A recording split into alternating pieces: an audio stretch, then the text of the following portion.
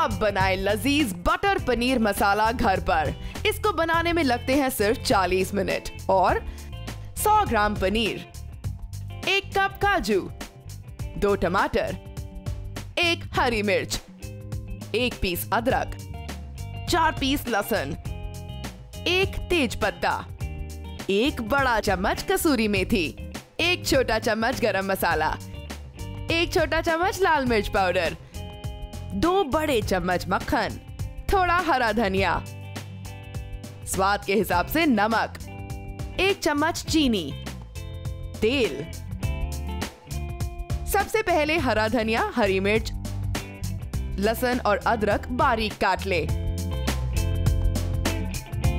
टमाटर को medium size के टुकड़ों में काट कर एक ब्लेंडर में ब्लेंड करके प्योरी बना ले।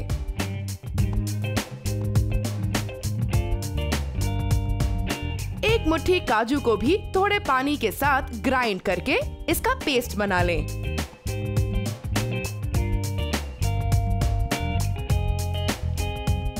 अब एक पैन लें, उसमें डालें थोड़ा सा तेल और गरम करें एक बड़ा चम्मच मक्खन इसमें डालें तेज पत्ता कटा हुआ लहसुन अदरक और उसे फ्राई कर लें। इसमें डालें बनी हुई प्यूरी। और भून लें कुछ आठ से दस मिनट तक। अब डालें लाल मिर्च और मिक्स कर लें। साथ ही पीसा हुआ काजू का पेस्ट इसमें मिक्स कर लें। चाहे तो इसमें और थोड़ा पानी और मक्खन डाल सकते हैं। अब डालें एक चम्मच चीनी, कसूरी मेथी। स्वाद के हिसाब से नमक और एक छोटा चम्मच गरम मसाला। और इसे अच्छी तरह पाँच मिनट तक भून लें। अब डालें इसमें पनीर।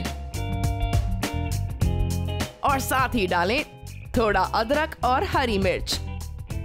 इसे पाँच से सात मिनट तक पका ले।